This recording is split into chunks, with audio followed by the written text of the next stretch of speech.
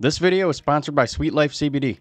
Sweet Life's premium CBD products are trusted by riders like Freddie Noren and Benny Bloss. Try some yourself by visiting GetSweetLife.com. Use code TMN or click the link in the description to get 20% off site wide.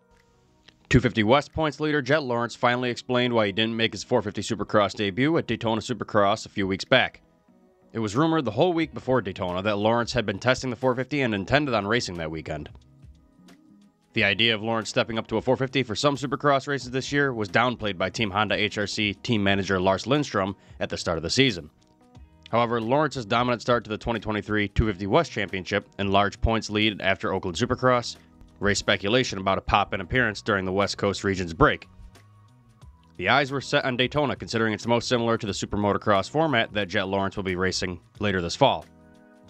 Lawrence indicated post race in Oakland that such a step was not on the cards before he transitions to the Premier Class full time from Pro Motocross later this year. But revealed after his fourth 250 West win of the season on Saturday in Seattle that a 450 appearance at Daytona nearly became a reality. Jett Lawrence said in this post race interview, quote, It was funny on the 450. At Daytona, I was actually very close to going racing. I was excited.